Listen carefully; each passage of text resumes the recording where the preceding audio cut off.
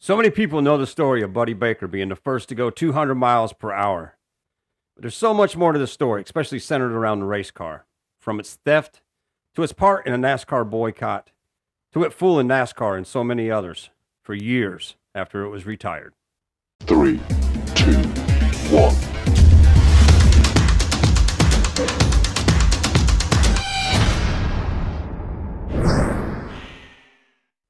What's up, everyone? Hope everybody out there is off to a great week. Yeah, the story right here. Everybody knows, or most people should know, Buddy Baker, the first guy to go over 200 miles per hour on a NASCAR closed course. And uh, but this really isn't about him.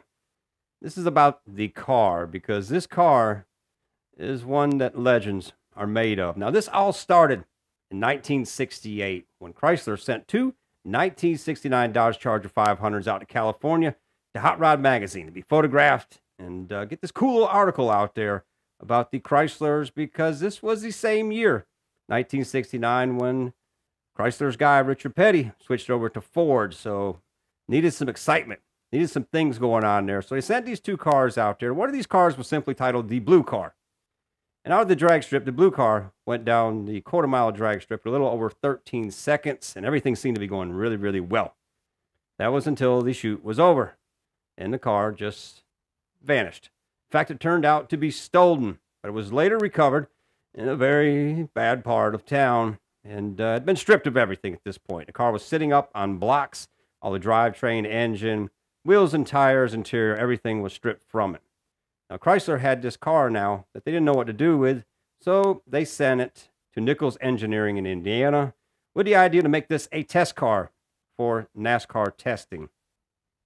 So Nichols Engineer went out there, put the roll cage in it, did everything to NASCAR specifications. And then at the 1969 Daytona 500, they decided, you know what, let's take this to the racetrack. And they got Paul Goldsmith to get behind the wheel. And things looked great. Car went out there, was fastest, and uh, everything was looking good until lap two, uh, 62, where the car crashed, and that was the end of the day for them. But at this point, they sent the car back, and this is where all the cool Additions were added to the car, the slope front end, the wing, everything else that they needed to make this car go faster. And that's what they did at Alabama International Speedway for the inaugural race at what is now Talladega Speedway. They got Charlie Glotzbach behind the wheel, and he went out there and turned a lap of 199.466 miles per hour.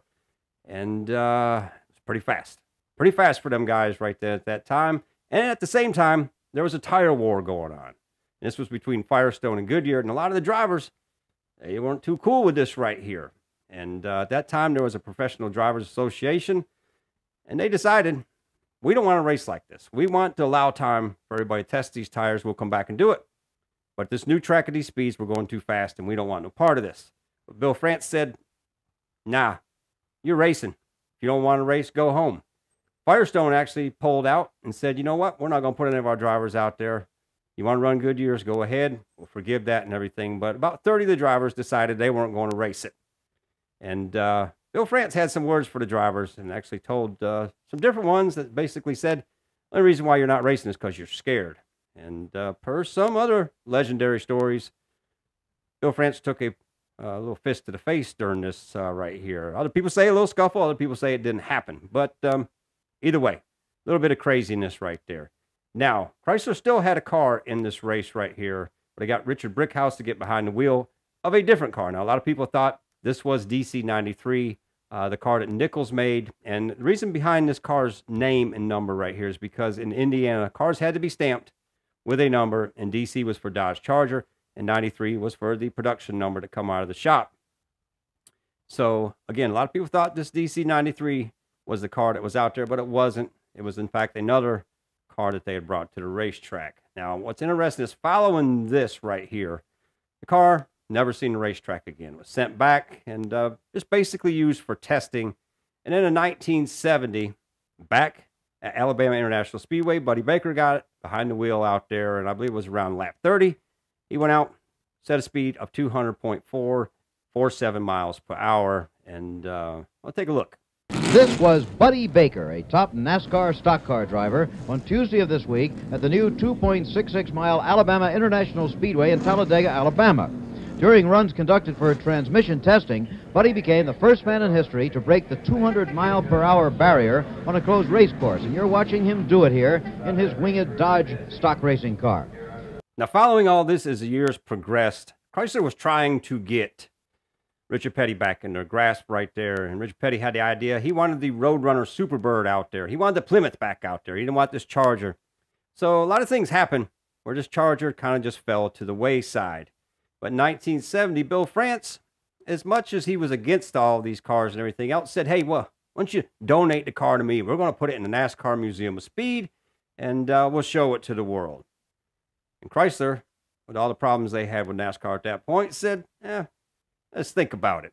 And that's what they did for nearly three years. And then finally, in 1973, they decided to donate the car to NASCAR, had a big ceremony at Daytona Speedway, and the car went on display at the museum, listing it as being the car that Buddy Baker drove. And, uh, well, that may have not been the complete truth. Enter into the story Greg Kwiatkowski.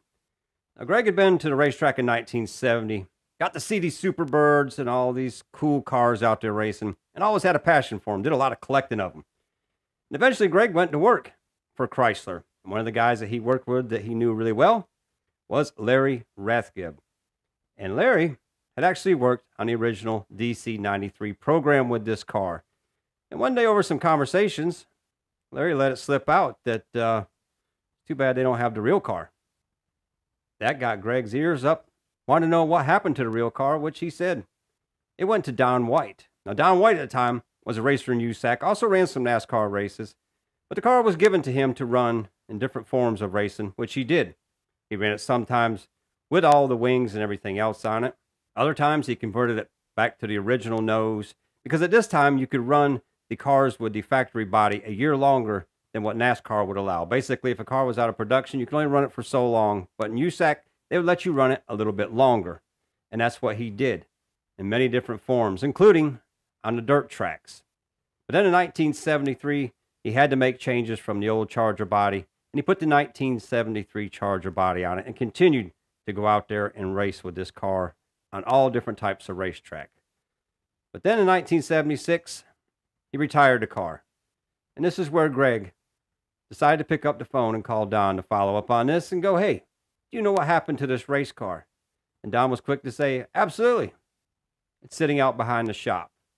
Now, obviously, Greg, very interested in these cars, wanted it, offered to buy it. Don did not want to do that. He did not want to sell it. And Greg just kept every month calling him and calling him, calling him to see if he could get this car, to which he always got the ultimate answer of no. But then on one call one day, Don picked up the phone and said, I'm ready to sell the car. Now, Greg sent him a 35 millimeter disposable camera to take pictures of the car, which he did. Don sent them back. When they developed the pictures, they could see the original blue paint that had been covered by black paint on the roll cage. They could see the dash design, and they knew this was the DC 93. So Greg made his way down, bought the car, and took it back home. And this is where restoration started on this car. And uh, cool thing about this is when he went out behind the shop, they were able to find the original nose off the Charger. They were able to find the wing, which was in the shop. There was different parts of this car that were still there. Didn't have the original roof or doors or quarters, but the rest of the car was original. And this is where the story gets great. The car eventually landed in the hands of Ray Evernham, which if you know Ray, you know his restorations of old hot rods and race cars are some of the best that there is in the world. And as you can see, this car was no different. It was restored back as much as possible to its race days with the original parts to make one fine looking machine. It eventually went up for sale and is still living on its glorious days past the racetrack. But this left the question why now is there two of these cars? So, what was the car that's been sitting in this museum for all these years with people going by and even NASCAR thinking they had the legendary DC 93 car.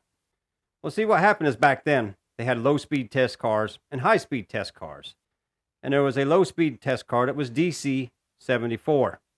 And then there was a high speed test car, which was DC 93. Now, Dodge felt pretty, uh, pretty not cool with Bill France at the time because there's a lot of things going on right there that just didn't correlate with each other.